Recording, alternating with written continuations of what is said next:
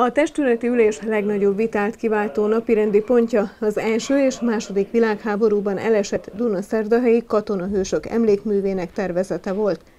Antalágota, Ravasz Marián és Jarábi Gabriella képviselők nehezményezték, hogy a tervezet nem nyilvános versenypályázat eredménye.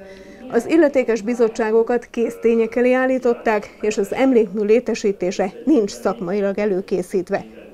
Hájó Zoltán polgármester válaszában kifejtette, hogy a szándék idejében nyilvánosságra került, a látványterv elkészítésével pedig egy elismert magyar szobrászművész bízott meg. Az emlékmű tanulmánytervét és az állomási parkban való elhelyezését mind a kulturális, mind pedig az építészeti bizottság jóváhagyta. Ilyen emlékmű hiányzik a városban, ahol a november másodiki városi gyásznapon fejet hajthatunk az első és második világháborúban elesett Dunaszerdahelyi katonahősök emléke előtt.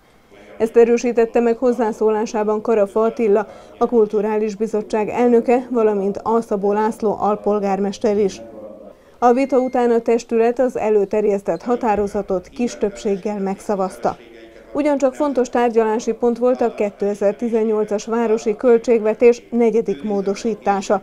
A költségvetés bevételi oldala mintegy 28 millió euróra emelkedett, főleg annak köszönhetően, hogy a tervezethez képest több részadó érkezik az államkasszából.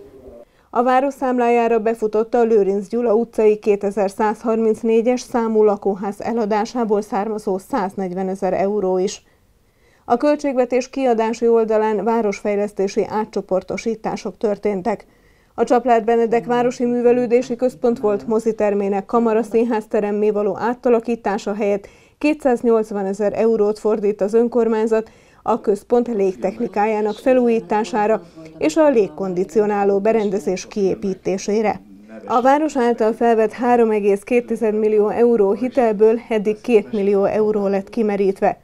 A képviselőtestület foglalkozott a Sikabonyi kertváros családi házas övezetében szabadidőpark, sportpálya és játszótér kialakításával, amelyet a lakosok petícióban kérnek. A parkosítás az eredeti szándék szerint az ingatlan fejlesztő befektető vállalása volt a 2007-ben kiadott elvi építési engedély alapján. Hájó Zoltán polgármester lát lehetőséget a lakók jogos igényének teljesítésére, amiben a Városfejlesztési Bizottság álláspontja szerint szükséges lesz bevonni a befektető társaságot is.